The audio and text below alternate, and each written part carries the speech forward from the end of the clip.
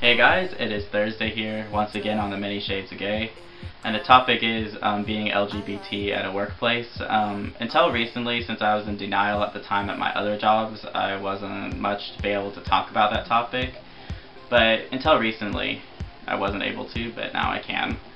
Anyway, currently I work at a water park, and basically at my job I do not say anything about it unless somehow it comes up. Um, basically, when I'm at work, um, I rarely bring up my personal life, and unless I'm talking to a coworker one-on-one, there is one person who I work with every day who does know about that because um, we got into basically personal conversations within our first or second day or second day within working with each other. So I have one person I work with who fully knows about it, and he doesn't mind or care whatsoever like any other person I have told about myself hasn't cared so far.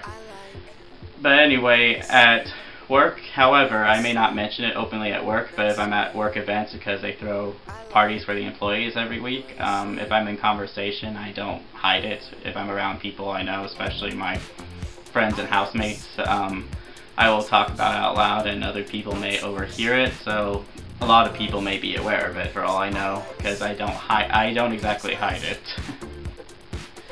basically that's all I can say about workplace is that I don't talk about it really at work, however I don't really hide it at all. Anyway, I hope you guys liked this video, and I'll see you all next week. Bye.